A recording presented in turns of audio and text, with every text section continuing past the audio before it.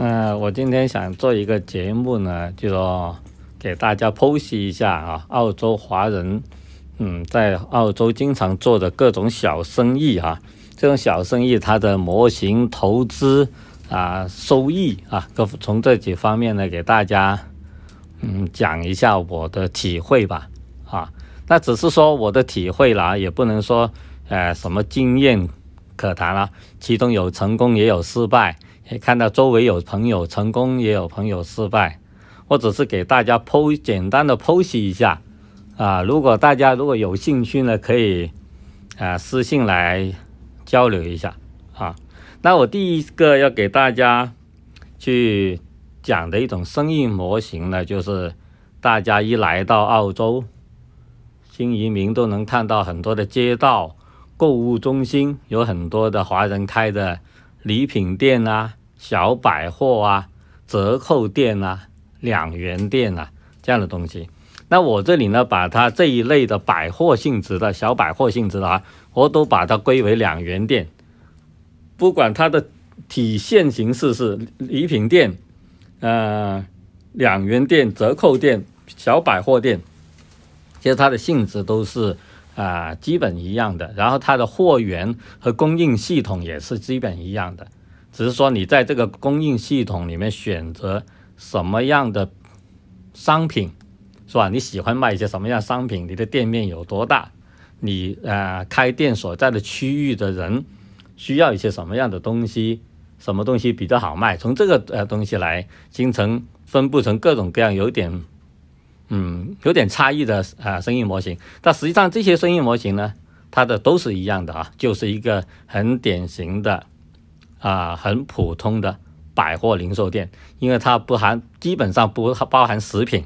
即使都包含一点点的所谓食品呢，都是一些包装食品，比如说糖果啊之类的东西，啊，所以呢，在这种店面呢，在澳洲的啊康首里面呢，市政的管理上呢，是作为普通零售业，所以它不太做什么啊控制和管理，啊，也没有食品卫生的管理。偶尔会有一些工作场所、工作场所安全的管理吧，但都是很少很少的啊，啊，所以这种呃店面呢是比较容易入手，也比较容易起步，啊，那我会呢呃找几个嗯模型吧，找几个模板模型给大家解析一下，这样的规模要多少投资，费用是多少啊，很可能的可能性的收益。是多少？那至于收益呢？啊，这个是没有谱的东西啊。你的选址、你的租金、你的经营、你的选货，都有可能造成你这个公司呃这个店面的成与败啊。但是呢，我当然会讲出一些比较普通性的数据啊，就说也比较合理、也比较常规的数据，让大家去呃呃有点有所体会吧。那我今天呢，就呃，因为是疫情期间吧，我找了一家啊朋友的店，这个店面呢面积比较大哈，店面面积呢有一千平方米，一千平方米呢，它就包含了整个差不多我们能看到的各种类别的商品了啊，一千平方米，啊这样的话呢，这个店呢，呃，我们的经验来看啊，如果小店和大店呢，它每一平方米的商品呢，啊。就要投入是不一样。那按我平均数值来算呢？因为我自己曾经开过嗯二十几家这样的两元店，大概我的平均数据呢，就是每一百平方米店面呢，大概的商品库存量大概是三万五到四万块。那也就是说，一千平方米的店面呢，你的总投入商品呢，可以是三十五万左右。而整个这样的店面面积呢，它的货架的投入呢？啊，并不是很高，货架投入这一家店面一千平方米，我算了一下，如果它有啊两百多个倍的货架啊，两百多个倍，每一个倍算你两百块澳币的话，那也就是四万五万块钱的货架，那并没有什么冰箱啊等等这些东西，再加上一些所谓的生财工具吧，什么电脑啊这个东西啊，监控系统啊，这个整个的固定资产投资呢，这样的店面呢，其实五万块澳币就够了。啊，大概就是这样一个规模。那我等一下呢，就说，呃，给大家会看一下这个店面啊，它的各种的设置啊，货品的分类啊等等这样的东西，大概吧浏览一下。那我现在给大家一下啊啊，就说以这个店面为模型，跟着大家算一下啊，这样一家店面一千平方米，那通常呢，它肯定不会是在购物中心。那购物中心的一千平方米，那那个租金呢，可能一年就是五六十万到七八十万澳币了。那这个呢，这个行业是无法承受得了的。那现在一般的中型购物中心啊，每一平方米每年的租金都要五百块钱以上啊，到高档的购物中心到七八百块钱一平方米了。啊，所以呢，这种店面的选择呢，肯定会选择大路边上的一些可以做零售的。大型物业，啊，那它的租金呢就会低得多。那现在呢，就说我想呢，这种租金呢，应该是在啊控制在每一平方米一百块钱以内一年。也就是说，一千平方米的店面，如果要做这样的行业呢，我的建议就是说，一定要在一年呐控制在十万块钱以下的租金，啊。那就现在就是很简单给概括一下了，就十万块钱的租金，三十五万左右的库存，五万的固定资产投资，那基本上呢就是这一家店面的所有投资。那投资呢还应该加一部分的呃租金的押金，比如三个月的押金，第一个月的租金，那你就还要增加五万块钱，也就你总的投资在四十五万澳币，那就是比较充足了。啊，这样的店面呢，一般情况下呢，啊，如果是自家经营，只是搭一个啊帮手或者一个 part time 的话呢，它基本上不太存呃存在亏损的啊问题的，它只有可能存在呢赚多少的问题，或者赚了赚不赚得到你理想中的钱的问题啊啊，这个是华人做生意呢，嗯，为什么选择这样的生意入门？也就是这个生意很少会亏损的。而这种类型的呃店面最容易亏损的是选址问题，也就是这里选址选在购物中心啊，十万块钱的东西也只能租到一百平五十平方的店面的话啊，这个亏损的机会就极大了，因为一百五十平方米你能展示多少商品，或者你的商品库存有多少啊？然后你商品库存很少的话呢，就造成了如果你遇到客人即时购买。比如说某个人马上想买呃一百个杯子或者五十个盘子或者呃某一种花他喜欢了他买十把二十把你就不存在这个量了，那没有这个量供应呢，这个人的这个即时购买的兴趣可能就过去了，那你的生意就会降一下啊，做不到，所以呢就大面积有大面积的好处了，就是这样，呃风险会相对低一点。那我还是建议呢，就是说这种店面呢对于华人来说呢，应该来说是啊。风险是低一点的哈，那这样的店面呢，一般呃经营者啊，他都有个什么期望值？就说你开一家这样的店面，我认为呢，呃最基本的期望值是什么？期望值呢，就是说你们的劳动价值要赚回来。比如说你这家店面，你夫妇两个人全职工作，那你呃你是新移民，你把自己的呃期望值定义在一年是四万五万一个人。那这样的话，也就是说，这个店面呢，你的收益至少要赚到你夫妇两个人的呃中低收入，就比如两个人是呃五万，那就是十万收益。那十万收益以外呢，还应该赚回你投入的我刚刚所说的这四十五万的合理的投资回报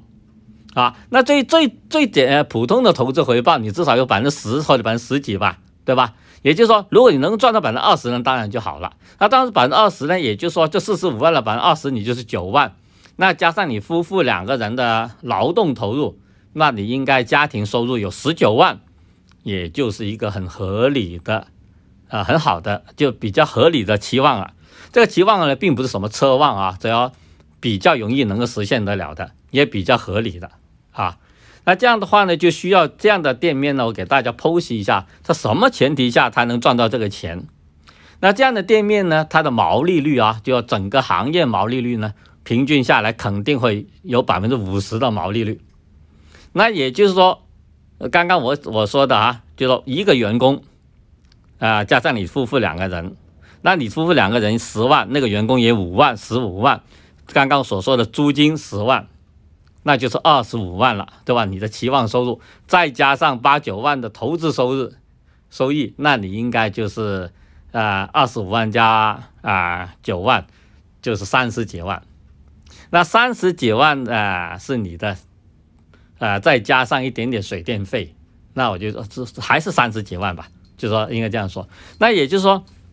你这样的一个店面，你一年的毛利就应该是你的员工工资、你自己的工资和你刚刚我说的投资收益和你的呃租金费用加起来，啊，那按这这个刚刚我以这个为一千平方为例子来算呢，它就是应该是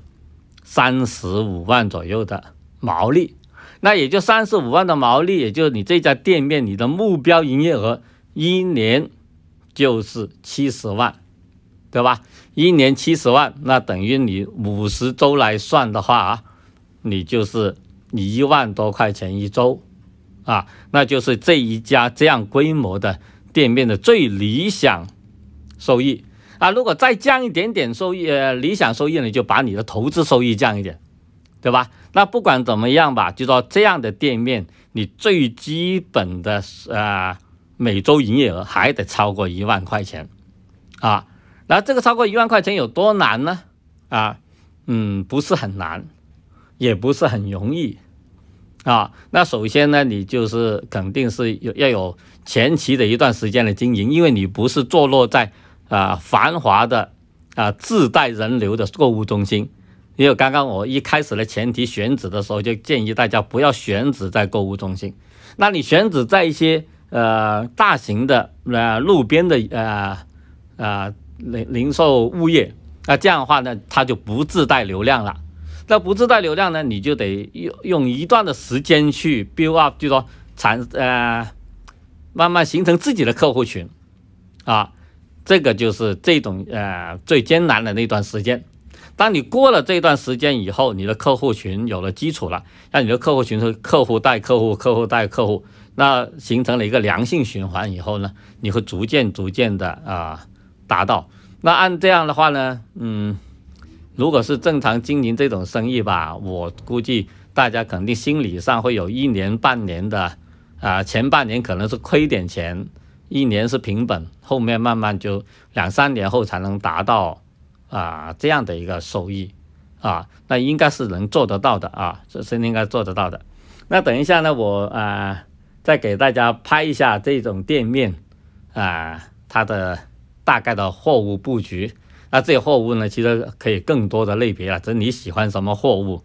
有时候我也讲啊，你喜欢卖的东西，它就卖得好；你不喜欢的东西，它就卖得不好。这个其中一个想法，还有一个呢，你周围的客户他喜欢买什么东西，你你就会带动你去买啊卖什么东西了。啊，我等一下给大家再拍几段啊。那这一家呢，就是刚刚我说的，就是说朋友开的一家，呃，大型的这些两元店了。他说的是叫两元店啊，实际上只是一种类别罢了，但是没有多少东西是两元的了，什么都有了。那现在给大家看到，它很主要的一个啊 session 就是卖各种装饰的假花，是吧？啊，这个是给大家看了啊，就呃假花，然后呢就是一些。啊，party 上的什么气球啊、糖果啊、啊之类的东西了，啊，还是假花，那还有一些还有一些很普通的商品吧，就比如说像袜子啊，对，啊，厨房用品啊，是吧？厨房厨房用品啊。然后呢，还有一些嗯香啊，就是那些印度人做的各种的香，还有这些香油，就是这些我们中国人叫精油吧，什么啊卡片啊，这类之类的蜡烛啊，啊各种蜡烛啊，蜡烛啊啊，然后各种的花瓶啊。还有一些，呃，你看后面那些扫扫把啦、拖把啦、花盆啊这些东西吧，还有呃相框啊、相架啊，那还有呢很大一部分就是毛线了啊，很大一部分是毛线，这里还还好几百种毛线的的颜色在里面，应该几百种都有，然后然后呢各种工具啊啊，然后一些。储存箱啊，中国人家在整理箱啊之类的东西吧，大概就是啊啊类别呢，这些就是他们的存啊的存货区间了，就这些的库存的存货区间了，啊，那这个呢就说一些一个啊比较典型的啊比较啊中国人开的这些两元店比较典型的啊的品类吧，那这些品类呢是可变的啦，就说。你根据你的区间，根据你的面积，你都可以让这些啊品类有所改变啊。这点没没有什么呃很固定的模式啊。这些供应系统呢，它都是啊基本上是共通的啊。在嗯我们华人圈里面啦，就是华人开的这种进口商批发商，我估计在墨尔本都有好几十家，甚至百家了啊。这些都是非常容易找得到的。在华人圈里面很容易就找到这方面的信息，啊，如果谁有兴趣，我都可以告诉你在哪里哈，啊，那这个呢就说啊，我今天呢就是用一个这样的店面啦，来剖析一下这个行业是怎么赚钱的，能不能赚到钱，对吧？那有机会呢，我会找一个另外一个稍微规模啊小一点的，就最普通的规模，比如说啊店面面积在。两百百把两百平方的，它是怎么样经营的？它的费用投资是怎么样的啊？好了，今天就讲到这些哦。如果大家喜欢的就点赞加个关注。